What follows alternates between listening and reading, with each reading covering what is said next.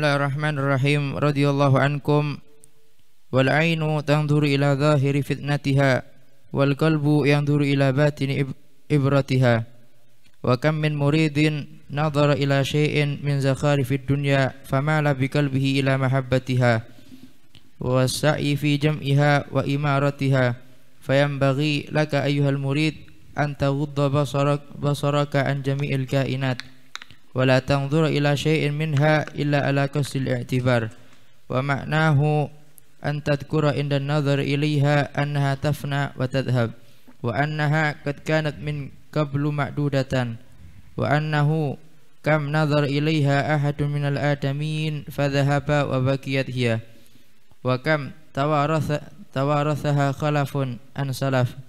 wa idza nadarta ta ilal mawjudat fangdur ilaiha nadar mustadilli biha. Ala kamali qudrati mawjudiha. Mawjudiha ala kamali qudrati mawjidiha wa bari'iha subhanahu. Fa inna jami'al mawjudat tunadi bilisani haliha nidaan yasma'uhu ahlul qulubil munawwarah. الناذرون بنور الله أن لا إله إلا هو العزيز الحكيم.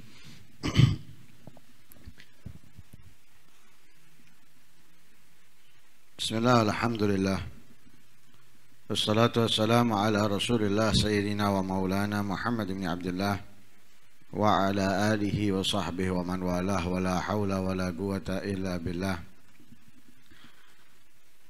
سبحان الله الحمد لله ولا إله إلا الله الله أكبر ولا حول ولا قوة إلا بالله العلي العظيم. عدد كل حرف كتب ويكتب أبد الآبدين ودهر الداهرين. سبحانك لا علم لنا إلا ما علمتنا إنك أنت العليم الحكيم. نويت التعلم والتعليم والنفع والانتفاع والمذاكرة والتذكير والإفادة والاستفادة. والحث على تمسك بكتاب الله وسنة رسوله. والدعاء إلى الهدى والدلالة على الخير ابتغاء وجه الله ومرضاته وقربه وثوابه من الله تعالى Melanjutkan pembahasan pada fasal keempat di dalam kitab Adab Sulukil Murid. Membahas tentang anggota badan yang harus kita jaga dan hindarkan dari kemaksiatan-kemaksiatan dan dosa. Karena anggota badan akan mengirimkan keburukan kejahatan yang dilakukannya kepada hati, dengannya hati akan terganggu sehingga menjadi rusak dan kacau. Karena itu anggota badan harus kita buat sibuk di dalam kebaikan ketaatan. Di antaranya lisan. Jangan sampai kita gunakan untuk mencaci orang, menggunjing orang, memfitnah orang, membohongi orang, karena itu dapat merusak hati kita di mana hati adalah tempat pandangannya Allah dan tempat pemberian Allah Subhanahu wa taala. Kalau hati itu rusak dan kotor tidak layak Allah meletakkan pemberiannya sehingga kita jauh dari ampunan, jauh dari rahmat, jauh dari taufik, jauh dari hidayah, jauh daripada inayah. Nauzubillah min dzalik. Sehingga kita gunakan lisan kita banyak berzikir kepada Allah, banyak bersalawat kepada Nabi Muhammad, meminta ampun, membaca Al-Quran, dan yang lain sebagainya yang kemanfaatan kita dapatkan ketika kita mengeluarkan huruf-huruf atau kata-kata begitu juga kalimat-kalimat dari lisan kita. Sebagaimana Allah Subhanahu wa taala telah berfirman di dalam ayat Al-Qur'an, "La khaira fi katsirin min ajwahum illa man amara bisadaqatin au ma'rufin au islahim bainan nas. Begitu juga Nabi sallallahu alaihi wasallam bersabda di dalam hadisnya kullu kalam ibni adam alaih lalahu illa zikrullah au amrun bima'rufin au nahyun amungkarin. Yang mana ayat dan hadis ini menjelaskan bahwa lisan ini keburukannya sangat besar. Peluang untuk melakukan dosa kemaksiatan sangat mudah. Sehingga kita untuk menjaganya sangat sulit. Apa yang keluar dari lisan, keburukan yang kembali kepada orangnya, peluangnya, kesempatannya lebih besar untuk kembali kemanfaatan kebaikan kepada yang mengeluarkan huruf-huruf kata-kata atau kalimat dari lisannya itu sangat sedikit sehingga terbatas di dalam amar ma'ruf nahi mungkar mendamaikan orang menasihati orang dan yang lain sebagainya. Begitu juga pendengaran dan penglihatan alias alias mata dan telinga lisan kita kita tutup tidak berbicara kecuali kita pikirkan terlebih dahulu tapi kalau kita tidak kendalikan mata kita, pandangan kita atau telinga kita, pendengaran kita, maka sama. Karena itu akan mengirimkan keburukannya kepada hati. Karena itu kemarin sudah menjadi pembahasan kita tuh. Hati-hati. Benar lisan kita diem. Tapi pandangan kita melihat sesuatu. Darinya kita mulai berpikir. Mulai terpikirkan sesuatu yang ingin kita raih, yang ingin kita dapat dari keburukan apa yang kita lihat. Atau juga dari mendengarkan orang yang berbicara. Nah, karena itu berarti kita harus mengamati apa yang kita lihat, memerhatikan apa yang kita pandang.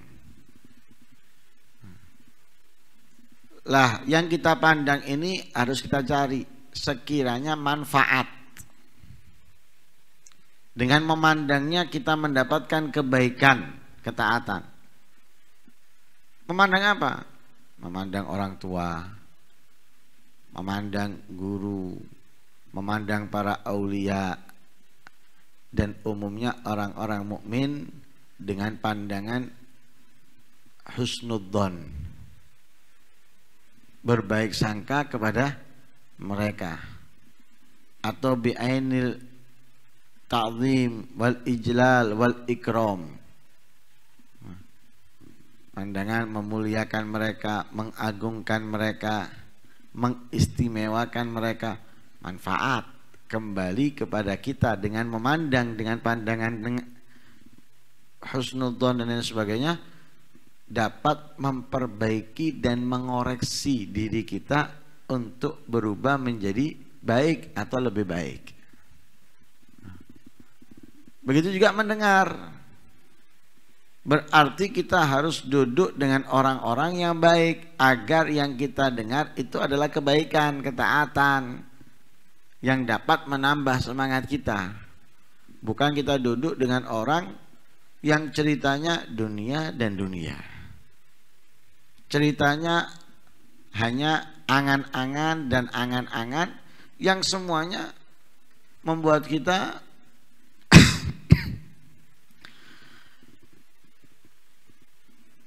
lesu, lemes, nggak semangat di dalam melakukan kebaikan ketaatan justru membuat kita jauh dari kebaikan dekat dengan kemaksiatan atau kelalaian.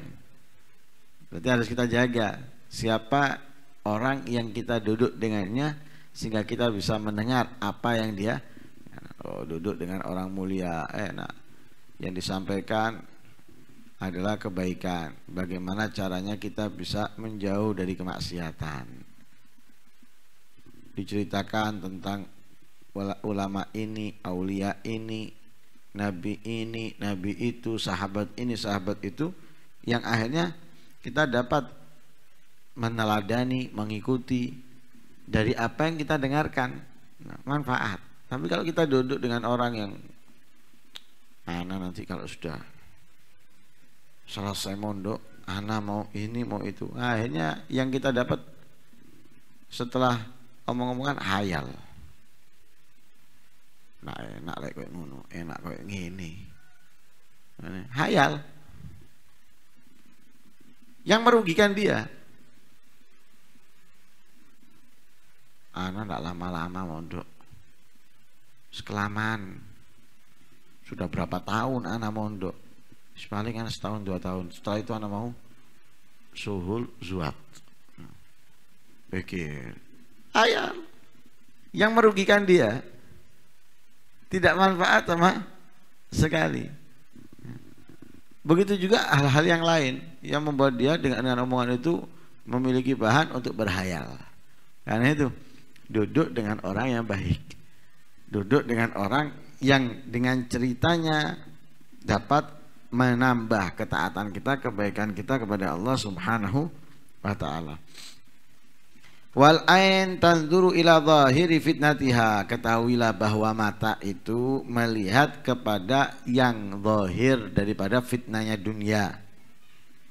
Wal galbu dan hati yang duru melihat ila batini ibratiha kepada batin ibratiha hasil daripada pandangan renungannya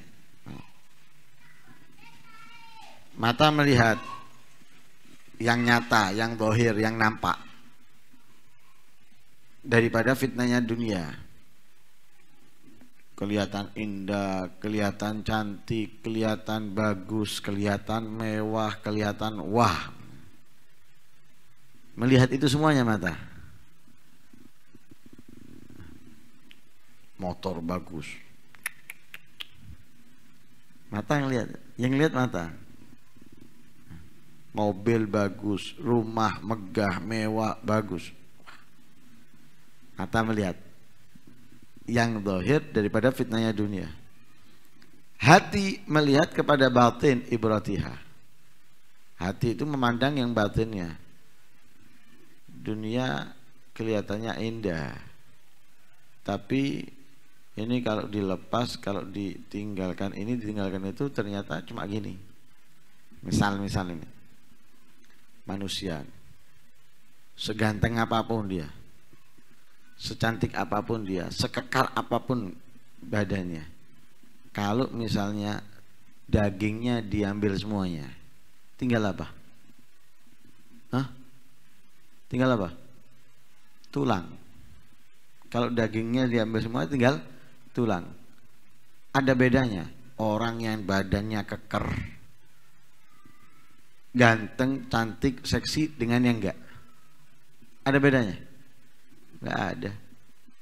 Sama tulang yang tidak memiliki body, tidak memiliki modif. Itu itu. Tidak ada bedanya. Berarti apa? Nampak luar aja yang menghiasi. Kelihatan cantik, kelihatan ganteng, kelihatan kekar, kelihatan gede. Tapi kalau habis semuanya sama. Dunia juga gitu. Mobil yang mewah, mahal dengan mobil yang murah itu sebetulnya sama. Suruh merotoli. Dilepas satu-satu. Sama mesinnya dalamnya sama kalau di preteli bahannya sama mungkin bedanya kalau ini dibelikan dari yang bagus ini dibelikan dari yang murah. Tapi kalau di preteli jatuhnya sama. Sama-sama dari terbuat dari ini dari itu. Podo bahannya itu sama tapi beda. Paham ini? Beda. Nah, seperti manusia sama. Beda isinya. Nah, hati melihat kepada batinnya. Yang menjadikan membuat mereka berenung. Tapi terkadang hati ini lupa. Terkadang hati ini lalai, nggak sadar. Kenapa? Karena pandangan yang tertipu yang masuk ke dalam hatinya yang mempengaruhi dirinya sehingga hatinya tidak bisa memandang yang semestinya mereka lihat, yang semestinya mereka ketahui. Orang bodoh. nggak tahu kalau ini bahaya. Dokter tahu kalau ini bahaya. Lah, kalau dokter tadi itu nggak sadar, lupa, yang bahaya pun dilakukan oleh dia. Benar enggak? Kenapa? Lupa dia, nggak sadar dia. Yang bahaya pun dilakukan, sehingga dia sama dengan orang bodoh, sama. Di saat itu dikatakan sama. Kenapa? Dia lupa bahwa itu membahayakan. Bahwa itu tidak baik karena lupa. Lah kok bisa lupa? Pasti dia tertipu. Sama dengan hati. Hati itu mestinya tahu kalau ini bahaya, kalau ini nggak bagus, nggak baik tahu. Kenapa? Ketahuan, kelihatan ya, kelihatan seperti obat dia racun dia yang buat tapi yang buat tadi itu lupa kalau itu racun dimakan lah hati kalau lupa juga gitu. Mestinya dia tahu tapi dia lupa tertipu. Akhirnya apa? Hatinya ikut kacau seperti pandangannya yang tertipu dengan keindahan dunia. Wa kam min muridin? Nazara ila syai'in min zakharifid dunya. Berapa banyak daripada seorang murid? Nazara yang melihat ila syai'in kepada sesuatu atau sedikit min zakharifid dunya daripada keindahan-keindahan dunia. Apa tipu-tipuan dunia? Famala bigalbihi maka condong maka tertarik bigalbihi dengan hatinya ila mahabbatiha kepada mencintainya. Wasa'i fi jam'iha berusaha di dalam mengumpulkannya. Wa imaratiha dan memakmurkannya. Banyak. Karena pandangan tadi itu dia tampak melihat kein, apa eh, tertipu dengan keindahannya. Hatinya termakan tipuan dari pandangannya. Sehingga tertarik untuk mencintai dunia. Berusaha untuk mendapatkannya mengumpulkannya bahkan memakmurkannya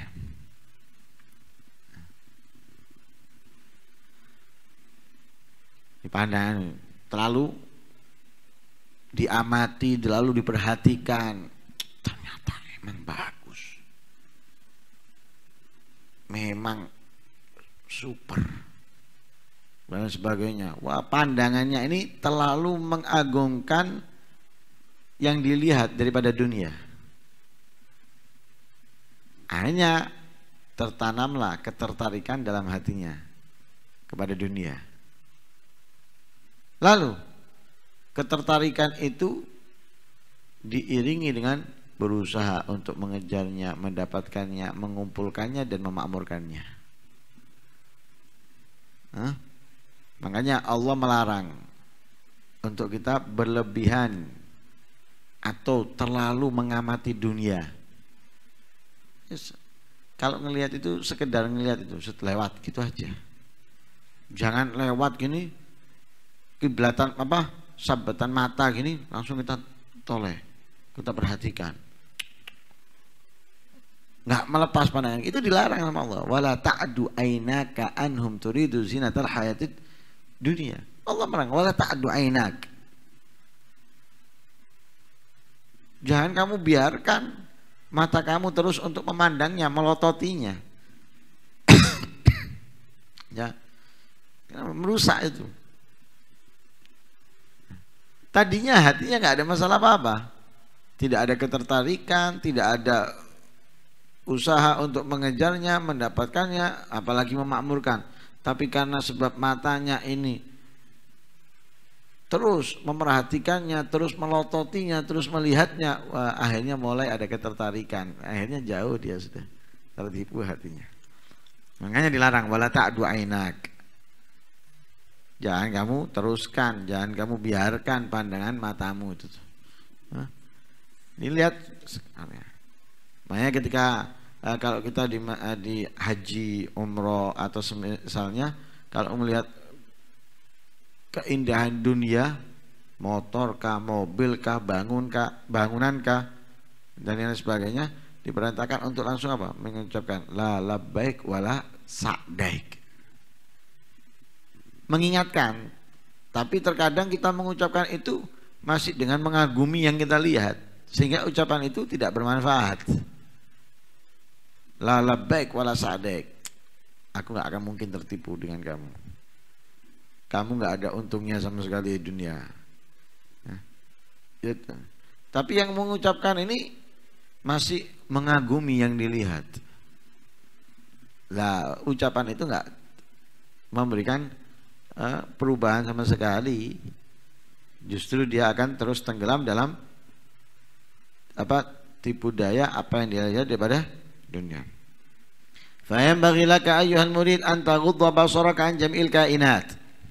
Maka semestinya bagi kamu wahai murid an taghudda basaraka kamu pejamkan matamu an jam'il kainat dari seluruh alam semesta. Jadi kita pejamkan mata kita dari segala apa yang ada di dunia. Wala tanduru ila syai'in minha dan jangan kamu melihat kepada sedikit pun daripada dunia, daripada kainat. Illa ala gastil i'tibar kecuali atas tuju, tujuan al-i'tibar mengambil renungan pikiran. Jadi bukan kita merem terus, nggak manfaat Allah ngasih mata. Allah ngasih mata untuk kita melihat Al-Quran melihat hadisnya Rasulullah memandang aulia memandang orang tua guru mempelajari ilmu. Itu kan gitu. Nah kalau kita memandang ini kita gunakan pandangan kita ini di dalam alam semesta ini jangan kita melihat memandang apa pun kecuali untuk berenung untuk berenung kita melihat rumah mewah, gunakan untuk berenung, berpikir. Bukan keindahannya, bukan kemewahannya. Nah, tapi lihat rumah mewah itu terbangun dari bawah. Mereka menggalinya untuk membuat pondasi, pondasi digali dari sekian ke sekian jaraknya, kemudian dari situ dibangun sampai ke atas, eh, kemudian mereka ini dan itu Hubungkan bangunan tersebut dengan apa yang dibangun Allah. Allah membangun langit, Allah membangun bumi. Tidak pakai pondasi seperti manusia membangun rumah. Tidak ada tiang seperti orang-orang membangun rumahnya untuk apa? E, membuat dak atau menaruh genteng dan semisalnya. Lah itu hubungkan. Jadi kita melihatnya bukan untuk mengagumi bangunan keindahannya atau mahalnya tapi untuk merenung ya untuk merenung karena itu disebutkan di sini wa artinya apa jangan kita melihat kepada segala sesuatu sedikit pun daripada kainat atau pejamkan matamu dari seluruh kainat kecuali dengan tujuan iktibar artinya antadzkura indan nazar kamu ingat ketika melihat kepada kainat tadi itu annaha tafnah. Bahwa kainat yaitu alam semesta tafnah. Akan fana akan habis akan hancur. Wa tathab akan hilang. Wa annaha qad kanat min qablu ma'dumatan. Yang mana kainat ini sebelumnya ma'dumah tidak ada alam semesta khususnya secara keseluruhan ini alam semesta asalnya nggak ada kemudian ada. Setelah ada, alam ini akan hancur, akan rusak dan akan pergi, hilang. Nah, kita lihat itu, kita merenungi. Ini tadi nggak ada bangunan ini. Sekarang ada. Nanti ini mulai rusak, mulai keropos sudah. Karena sudah kayunya sudah tahunan. Sudah kena air atau dimakan rayap dan lain sebagainya. Loh, ini akan ganti ini. Misalnya gentengnya diganti atau kayunya diganti, sudah berganti kayunya. Ini kayunya baru semuanya, yang dulu sudah hancur kita saya ganti loh, sudah hilang sudah. Ganti yang baru. Berarti tadinya nggak ada, kemudian ada, dari ada nggak ada lagi, hilang. Wa ana kam nazara ila ahad minal abyamin dan berapa banyak coba? Kainat itu telah dilihat oleh seseorang daripada manusia. Orangnya pergi, mati, fadhaba, orangnya pergi, wa bagiat iya. Kainat itu masih ada. Rumah ini dibangun, Zud. Rumahnya ada. Yang bangun sudah mati. Tukangnya mati. Pemiliknya juga mati. Yang dibangun masih masih ada. Nah. Antara yang nggak ada kemudian ada itu pergi hilang rusak hancur atau yang nggak ada menjadi ada itu tetap ada tapi yang bangun yang memiliki pergi mati itu kainat lah itu kita pikirkan jadi kita melihat isi dunia ini untuk mendekatkan kita kepada Allah, mengingatkan kita kepada Allah, bukan keindahannya, bukan kemewahannya yang kita lihat, tapi mengingatkan kita kepada Allah. Ya. Wa kam tawarathaha khalafun an salaf. Berapa banyak tuh. Ya. Mewariskan apa atau khalaf mendapatkan warisan daripada salafnya, silih berganti oh ini dulu kakeknya yang bangun. Lalu ayahnya. Sekarang anaknya. Nah, itu bisa lihat bangunan atau eh, pabrik-pabrik uh, misalnya. Oh, ini sudah lama dari dulu ada. Siapa yang punya? Fulan. Mana Fulan? Sudah mati. Dilanjutkan oleh anaknya. Satu. Terus anaknya masih ada. Sudah sakit-sakitan mau mati, sekarang dilanjutkan oleh anaknya. Atau sudah mati, dilanjutkan anaknya. Loh, sini berganti. Itu dunia kainat. Dulu di sini siapa, sekarang siapa? Dulu di situ siapa, sekarang siapa? Diwariskan dari nenek moyangnya ke anak cucunya. Jadi anak cucu mendapatkan warisan daripada ayahnya, ayahnya daripada kakek ayah ayahnya yaitu kakeknya. Begitu juga seterusnya. Ya. Nah kita harus memandang dunia seperti itu. Wah mewah buat apa ya nanti setelah saya dinikmati anak saya. Ini dulu ya sebelumnya sudah dinikmati orang lain, sudah dimiliki orang lain. Kalaupun saya yang beli sekarang, ya mungkin saya pakai hanya beberapa saat setelah itu ganti ke anak saya mungkin sama anak saya dijual atau sama anak saya diwariskan kepada anaknya terus seperti itu jadi setelah dimiliki ini dimiliki itu setelah ini yang punya itu yang punya yes. itu dunia ya.